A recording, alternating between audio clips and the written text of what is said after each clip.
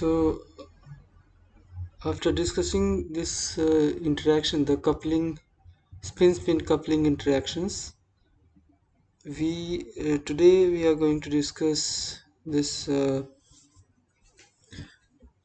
pulse technique, which is used in NMR. So modern day spectrometers, NMR spectrometers are a lot more different than what have been uh, described earlier in in my classes regarding um, we, we often so as i told you initially that it was easier to understand in the uh, the chemical shift scale and everything. When you think of a spectrometer which is has a fixed uh, frequency and the magnetic field is varied that was the very uh, beginning at the very beginning the conventional nmr spectrometers were made like that. The, that is what we say at field sweep uh, mechanism was there that the magnetic field was uh, tuned to match with uh, to resonate at the same frequency. So high field and low field terms this terminology uh, comes from that.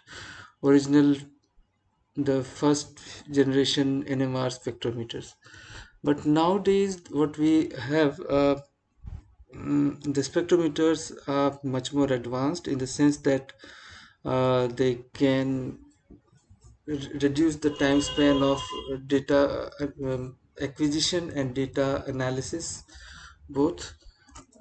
So that is a technique uh, so instead of doing this field sweep and all that scanning thing uh, there is a different way of doing that in which a simple pulse of uh, something is fed into the system the of the uh, radio frequency pulse. A pulse is a mixture of several waves which are superimposed over the other and the duration is limited.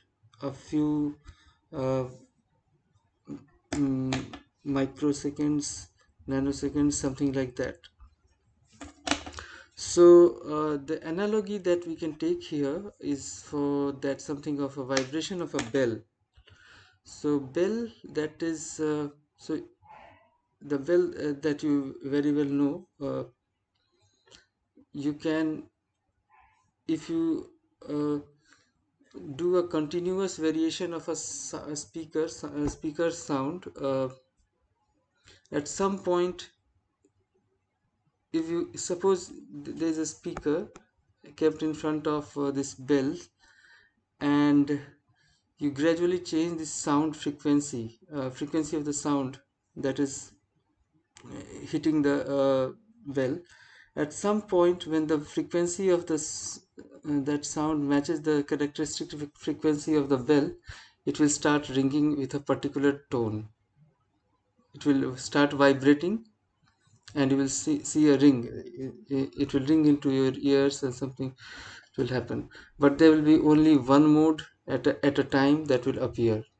Instead if you take a hammer uh, this one and hit it hard all the three it will start vibrating with a um, start vibrating with all the characteristic frequencies that it can have. So mode 1 mode 2 mode 3 these are all appear at different frequencies and a combination of this is what we hear when we struck strike it with a hammer. Okay so we are not having only one type of uh, uh, vibration that is uh, uh instigated that is uh, induced in the thing when we strike with hammer. It, instead we are having two three different rapidly uh, oscillations that take place in the in the bell and that we hear as one clang the sound of the bell and when we strike with hammer. So so that is what uh, uh, so this is this kind of stimulation that we are doing one with the speaker where gradually we are changing without hitting actually hitting the uh, system uh, and in another case we are using the hammer. So in the case of hammer you are having all the three modes appearing at once. The uh, bell starts ringing and you uh, the uh, the thing that you hear is a combination of all these three characteristic frequencies for the vibration of in of the bell instead if you are using something else like a speaker as a system it can still happen but you're continuously varying at some point the resonance will occur and it will start with one of the modes. So this is the difference. The bell's vibration is something that we are going to take as an example. When it is hit by hammer you are getting actually a pulse. That is a pulse mix of mode 1 mode 3 different frequencies like that. So this is the analogy that we are going to take forward in the pulse technique. Hitting of a hammer hitting of a bell with a hammer. The hammer acting as a source to induce that uh, vibration that response uh, okay? So so that is what we call a non-linear response uh, uh, and so uh, gradually we'll understand more about it. Uh, so composed of all the three frequencies that you see um, sorry just wipe went away.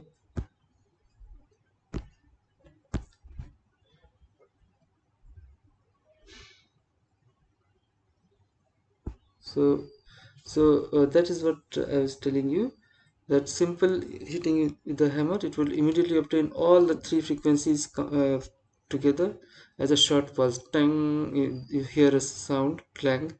So that is so similar thing that we are going to do here with uh, NMR technique. Um, so so now what we are going to do is that in this particular NMR thing we are going to monitor the radiation of nuclear spins that is emitted as they return to equilibrium. This is important. After simula stimulation so you have stimulated a thing you have given an input of energy which is absorbed by the nucleus uh, nucleus and then after that something happens nuclear spins uh, uh, they will try to relax. They will like to come back to their original position and in the process they will they will emit emit this radiation.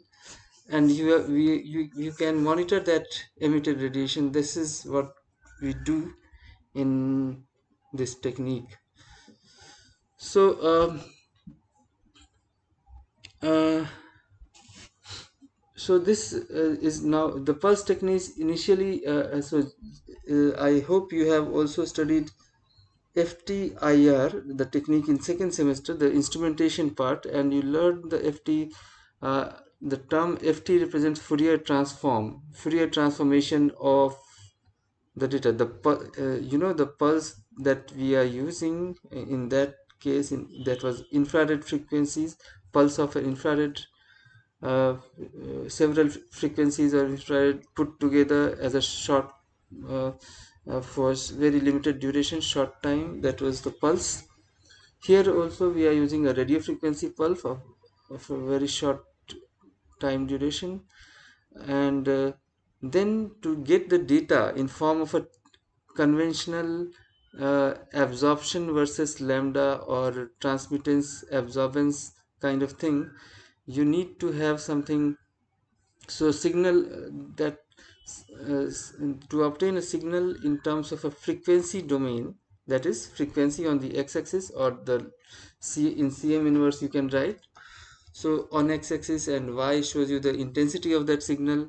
So that that to get that data you need to do something which we call in maths you need to have a good uh, mathematics developed to extract that valuable data from a change in the pulse profile after it has passed through the sample. Okay? Something like this we have to do. And for that Fourier transformation is required. So FTNMR so uh, whenever you are using pulse technique in NMR you have to do this uh, you need to uh, uh, advanced computational facility to convert that uh, raw data of a, which is in uh, time domain pulse, pulse uh, through the pulse technique and convert into a typical spectrum that uh, is a frequency domain thing where you have in terms of frequency uh, you for individual frequencies how much is the in signal intensity that you signal strength that you calculate. So uh, so this is important here that uh, so multiple pulse FT-NMR is the latest technique those the latest in the sense that this is the normal mode of doing acquiring the data very common now. And it's similar to what we uh, do with the hammer blow that we were doing producing uh, all this uh, mode 1 mode 2 mode 3 of vibrations with different frequencies put together and generating a pulse. So uh, okay so it is the so we have already discussed the vector model of angular momentum pre previously and we know how it happens. Uh, now uh, we will just uh, focus a little bit more on this uh, so in fact i have already told you about this that what is the strength of the uh, angular momentum of uh, any uh, nucleus. If it is quantum number is i so you know i into i plus 1 h cross that is your thing uh, units.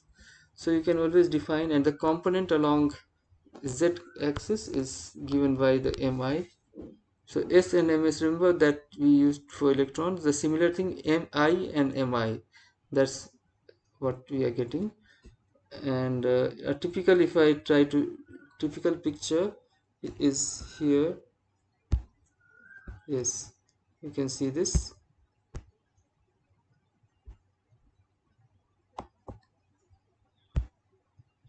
Yeah. So this is uh, if you like to understand it, it this way. So this is your z-axis z-axis is here. And this one is your the vector the angular momentum vector for the nuclear spin.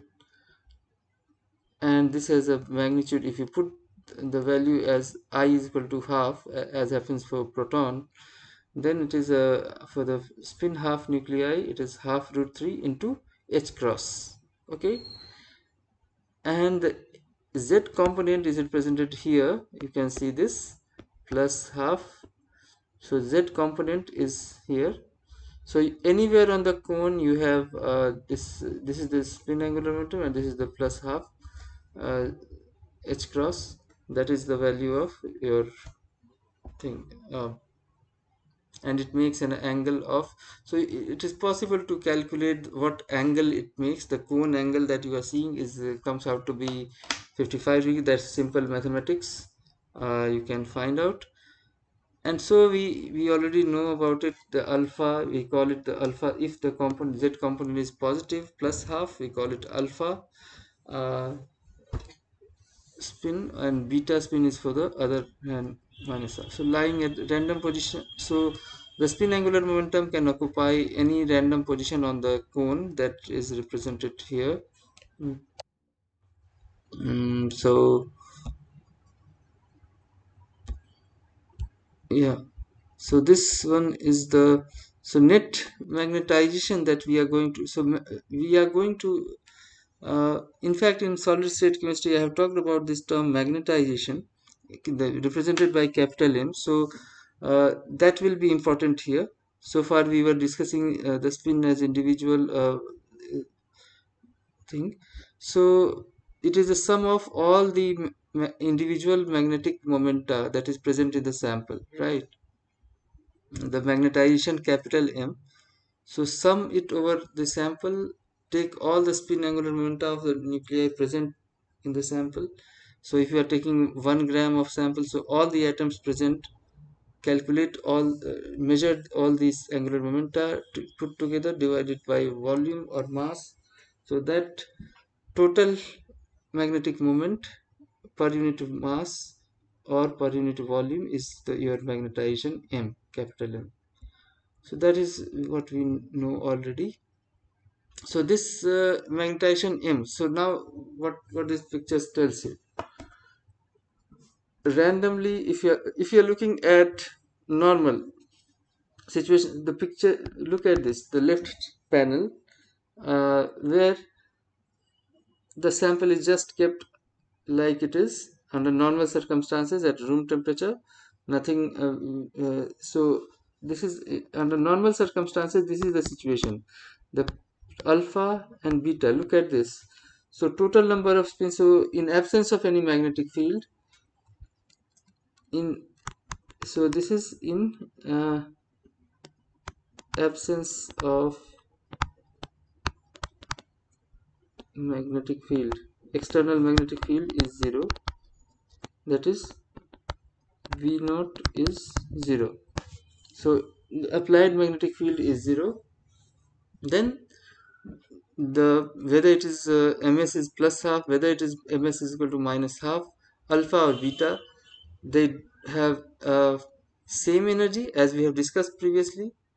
So it is so it is equally probable that half of the spins uh, uh, half of the nuclear spins are in alpha half of this nuclear spins are beta. So you represent this so if you are having one two three four five so if you, you have these many uh, nuclei present so here we are showing less number to make it simple keep it simple so you can see one two three four five six. One two three four five six. So there are equal number of uh, alpha spins and beta spins. Okay. And when there is no magnetic field present. Now suppose you apply a magnetic field b naught in the second case. You apply a magnetic field b naught in this direction. Okay. So when you apply this magnetic field most of the spin will be now uh, like appearing like this alpha. So magnetization direction of, of the nuclear spin would be like this. They will be aligned with the field. And so the population of alpha state alpha spin state is more. So or in in the first so in presence so this is in presence of the magnetic field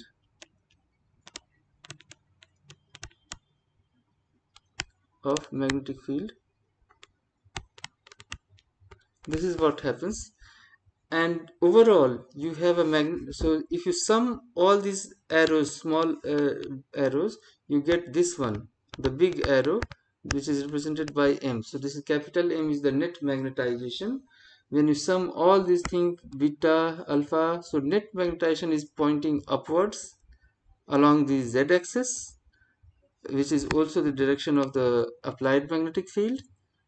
And this magnetization vector m now starts precessing precessing around the this uh, applied magnetic field. So this is the precession.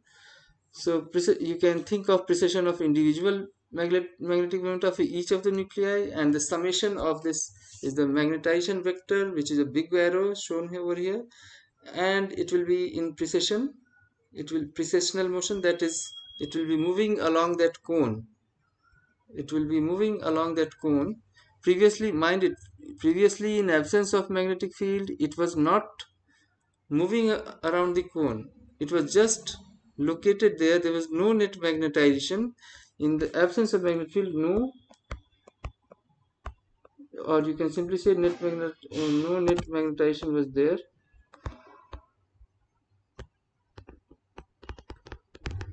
in absence of so here capital M um, was 0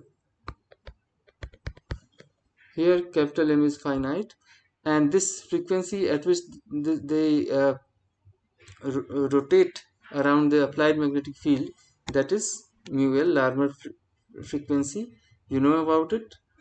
So you, I have also shown you the animation previous classes so you, you are aware of it? I'm not repeating it again so uh, so what will happen in this case what we will do we'll apply a radio frequency source that is circularly polarized.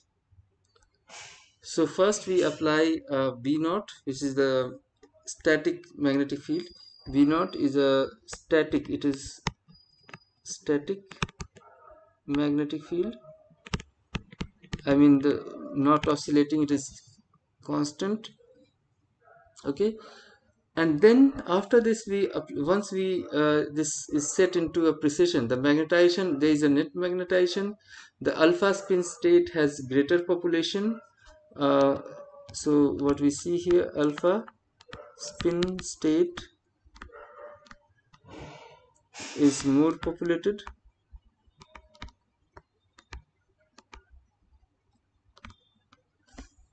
here they were both equal equally population populated.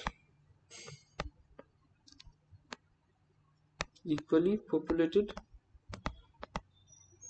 This was the case in in here previously without the thing.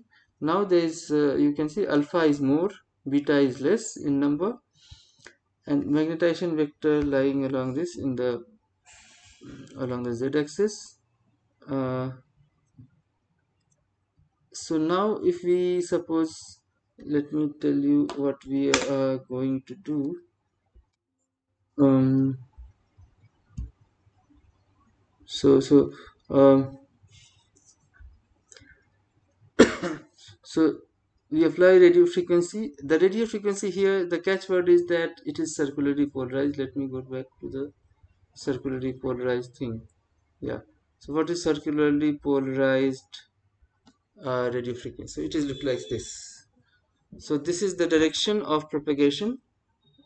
You can see the light is moving in this direction.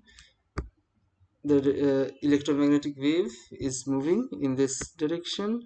And in the perpendicular plane so if this is your uh, if this is x this is y this is z z direction so something like this is there. So in the z direction it is moving.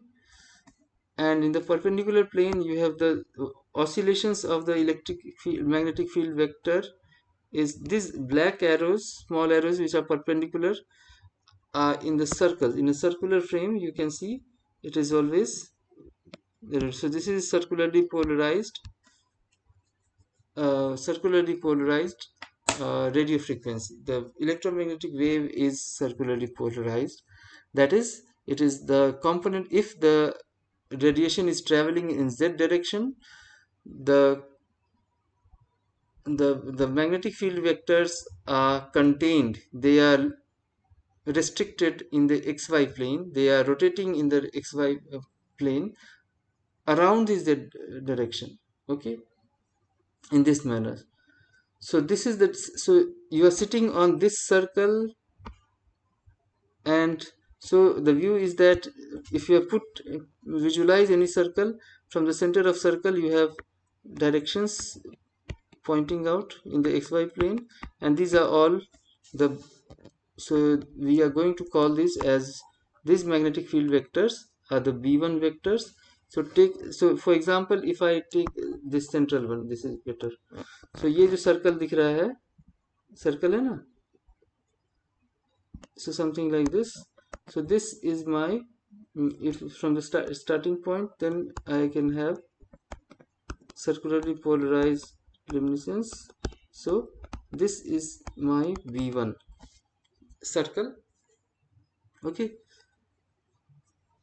and it is it is uh, applied. So we know uh, if it, so it is uh, the component so the magnetic field component of the electromagnetic field is also it is applied in such a way the direction of the radio frequency is the electromagnetic wave is such that it it is also along the z direction. So b naught applied again uh, in the direction of applied field uh, you keeping the same direction the light so is uh, the radio frequency is allowed to hit the sample in the same direction.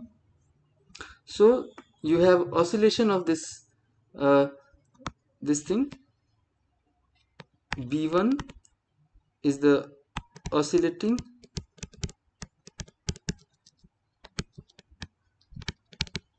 letting magnetic field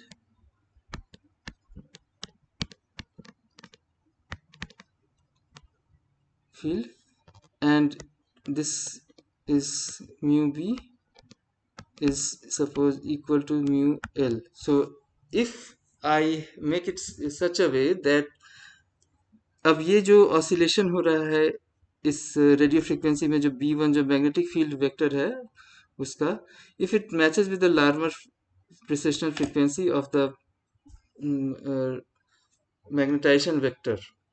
Okay you had a magnetization vector which was uh, oscillating due to the applied field b naught.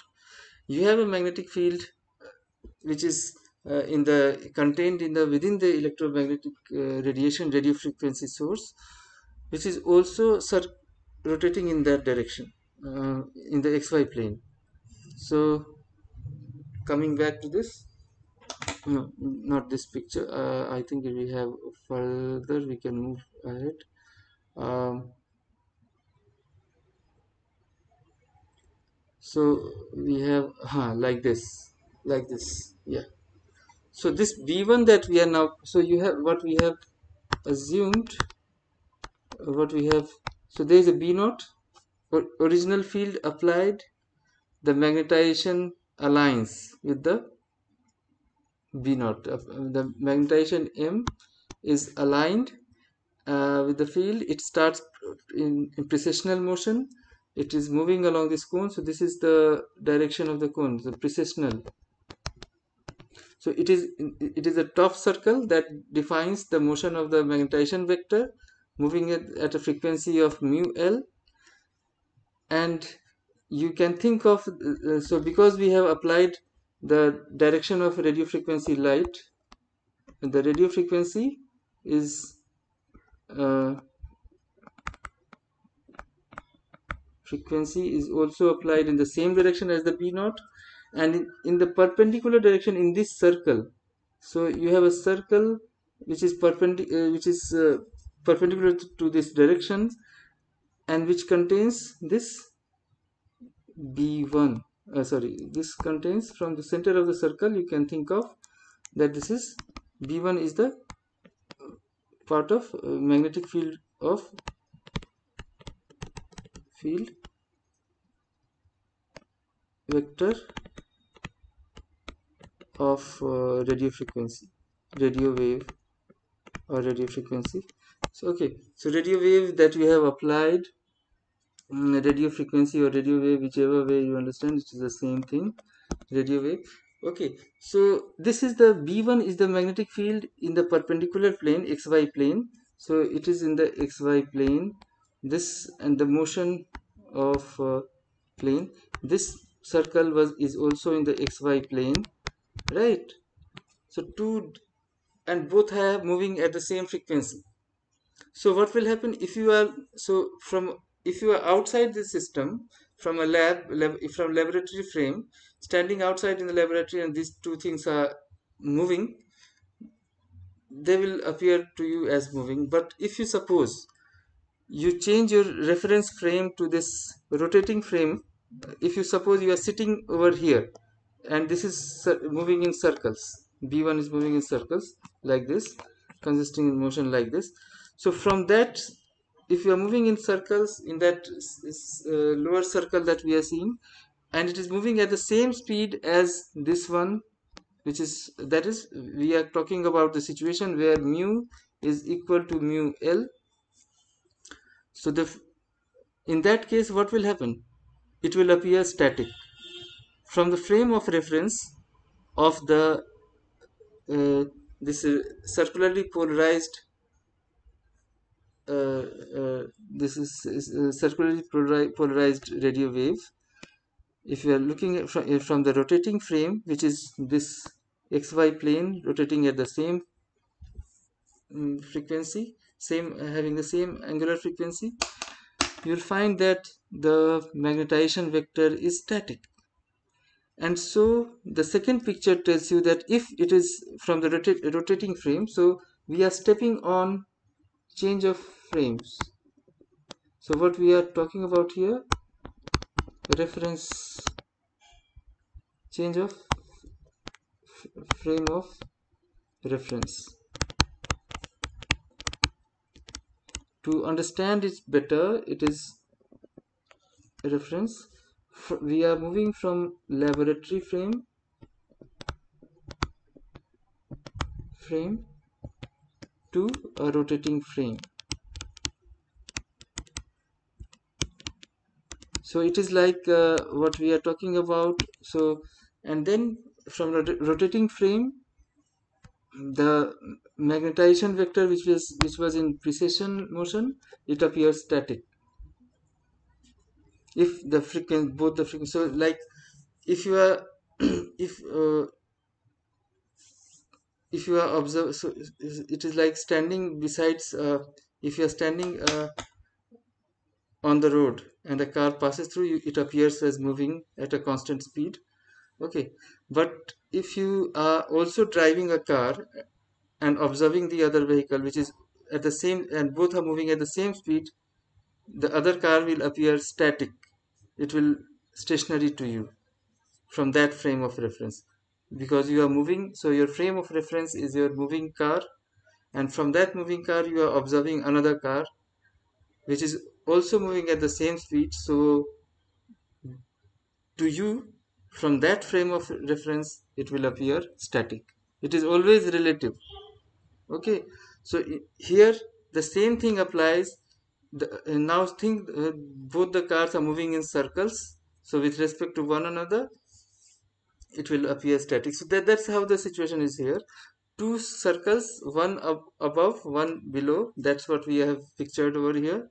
And in you are sitting in the lower circle moving at the same speed observing the magnetization vector moving in the upper upper circle. And because you are moving at the same speed in the lower circle as the upper as the magnetization will capital M in the upper circle so both from that point of view from the rotating frame it will appear static. The stationary the m is stationary from a rotating frame. Now when you have seen m is uh, stationary from a rotating frame of reference now what will happen? There's a so it is b1 this is m so this will so just like you had previously happened so there should be a precession induced due to this b1 there is a magnetization vector and there is a, a, magnetic field b1 which we are talking about. So it will move along so uh, this magnetization vector now m will move in this circle. So this is uh, setting up of another precession around the b1 okay so this is what from a rotating frame m appears static and b1 is perpendicular to it. So m starts moving just like you, you had we had seen previously uh, in, in case of b naught a pre precession was set around the vector b naught so similarly the m will start precessing around the b1 it is so in this particular the second circle that we are drawing over here. Okay? So this is what happens. We, when we use a circularly polarized radio frequency field b1 which is having uh, uh, oscillations limited to xy plane this is what is likely to happen. We have stepped onto a rotating frame of reference the lower circle that we are viewing the b1 uh, which is containing the b1 vector. And with respect to that uh, so b1 from that reference the b1 is stationary. If you are moving sitting on the same thing magnetization is also m vector is also stationary. And then we can think of that this m will start moving along the b1 as well. Okay so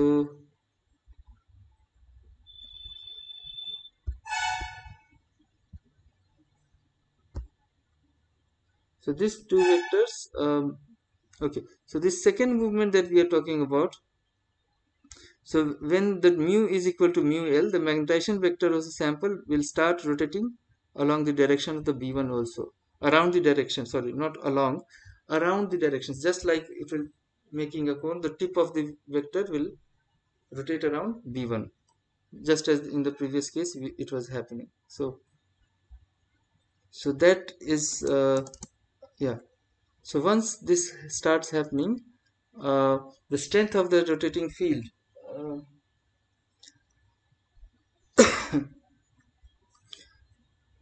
so in the in the case in the event when both these are matched together mu l you already know what the Larmor frequency is.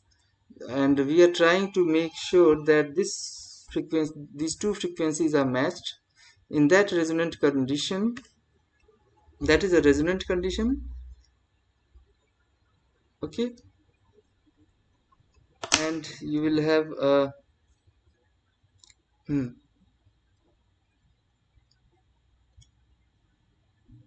under the influence. So there will be another precession that i told you that it is a precession around b1 is also happening ar along this circle in the, because of the induced influence of the second field b1 which is in part of the radio field the oscillating radio field. So this is what is going to happen. So a visualization of the same thing so we are having two things here.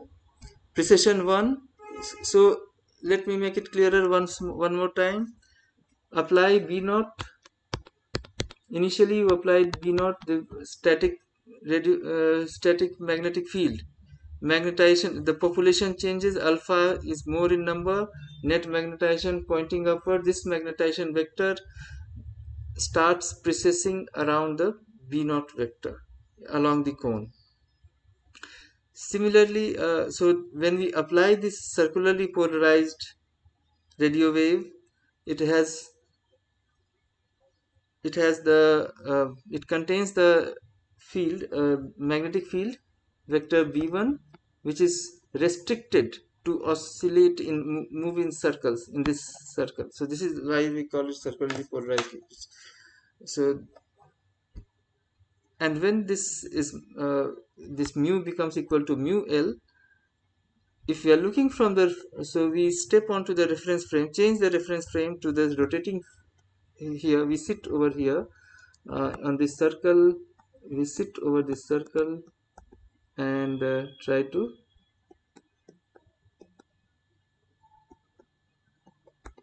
okay so you are sitting on this circle. This is your reference moving along this okay? Circle. At the same speed as the frequency and this frequency is the same. So what will appear you will the magnetization will look static. The b1 will look static to you because it, you are moving uh, your frame of reference has changed. And from that point of view the m should now be affected by the b1 also and it will start a precessional motion along this. So first precession mu L which is equal to uh, the uh, depends on the B naught. Then the that M vector starts moving along this circular path around the B1 and that is given this frequency is given by mu B1 by 2 pi. Okay? So this is the second precession that we can think of. This happens so this is a pictorial view of what is happening. Static magnetic field and this oscillating magnetic field. So see the vectors see the picture carefully. You need to observe very carefully. Look at what is happening. Precession b naught and now comes the radio waves so the same vector is now so green one uh, let me stop this for a moment एक minute एक minute, कैसे रुकेगा ये?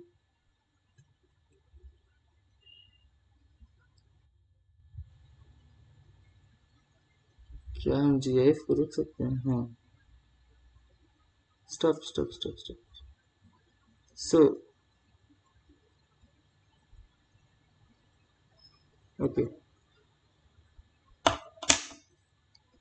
समझ पा रहे हो?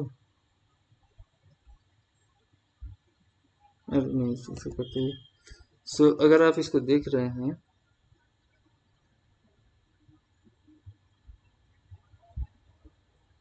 ये जो रेड वाला डॉट है so you see here it is static magnetic field the B naught and the magnetization is vector capital M so static magnetic field is blue one blue coloured you this look at this this is the b naught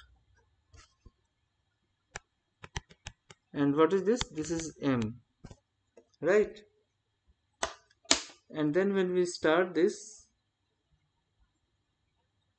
b m जो है वो इसके around घूम रहा है अब देखिए अब देखिए रुक रुक रुक रुक रुक और रुक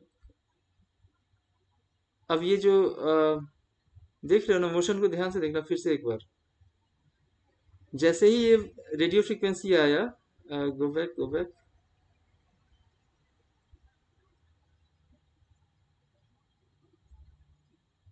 let stop so see now this green one green one is your B one जो मैं अब तक बी वन कह रहा था, वो ये the radio oscillating